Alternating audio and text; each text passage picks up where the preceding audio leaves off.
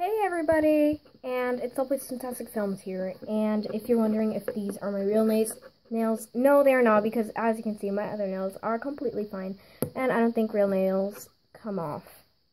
But anyways, today I was browsing Walmart with my mom, and I came across one of the most beautiful things I've ever seen. This beautiful thing I found was a Calico Critter set for only $6.88 plus tax. So today I'm going to be reviewing it for you. And yeah, it's Gal Galaxy here. I'm going to be doing all the reviews from now on, so hopefully um, you'll see me again. Alright, so it's me behind the camera who makes the videos.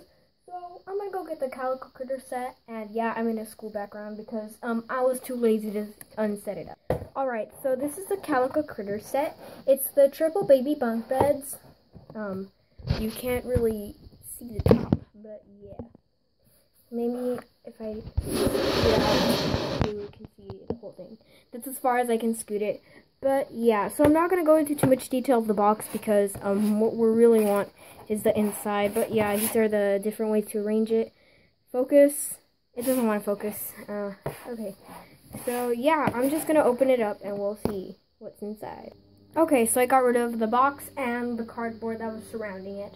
And this is what we get. We get the three bunk beds, and here on the top we have the two ladders and all the mattresses and blankets.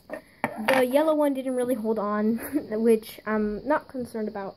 It's just, it's on the bottom, and I'm grabbing it by the top. They are, are supposed to come off because you can arrange them in different ways.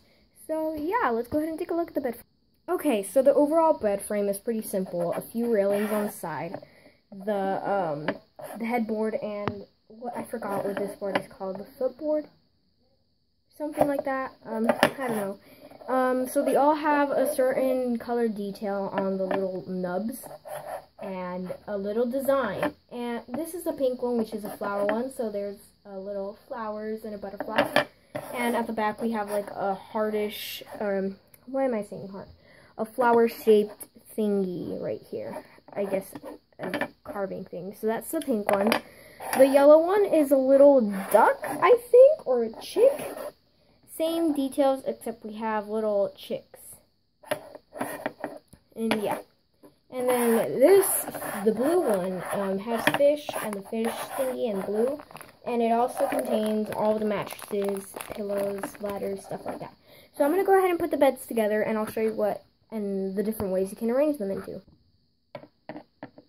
So this is exactly how it looks like on the packaging. The yellow bed on the bottom, the pink bed on the top, and the blue bed on the top. Wait, what?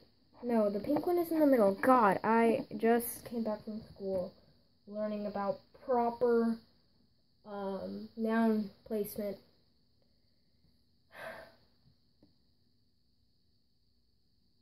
Okay, moving on. So this is actually a pretty nice setup. Um, I'm a little bit afraid for the, um, whatever person is sleeping on the top. Um, but yeah, we're to arrange it in the other ways that they have it in the packaging. So this is way one.